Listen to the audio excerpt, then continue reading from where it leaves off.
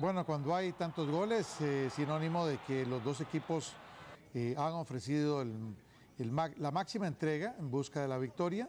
En este sentido, Saprissa saca la ventaja, pues tiene, tiene más arsenal, más recursos, más variables, más capacidad, si se quiere. Y aquí está el primer gol de Ariel Rodríguez al minuto 14 para iniciar la senda de una victoria que estuvo complicada, porque justamente en esta acción, al minuto 27, viene el señalamiento de un penal, la expulsión de David Guzmán y el gol de Michael Ortiz al minuto 30 para terminar el primer tiempo empatados uno por uno. Y la espuma a partir de ahí logró encontrar una motivación extra para reordenar y, eh, tratar de evitar mayores contrastes. Incluso se puso en ventaja en el 52 con esta anotación de Jeffrey Montoya.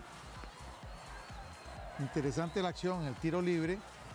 El jugador aquí está adelantado, pero nadie toca el balón y por consiguiente la anotación de Montoya es válida en el 52. Después vienen los cambios de Justin Campos, un hombre que sabe leer los partidos, y que sabe sacarle provecho a la banca.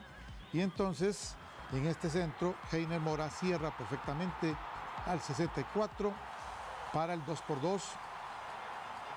Bonita aparición de Jonathan Moya, un hombre espigado que sabe jugar al área, sabe enfrentarse a los defensas rivales para contribuir a la causa.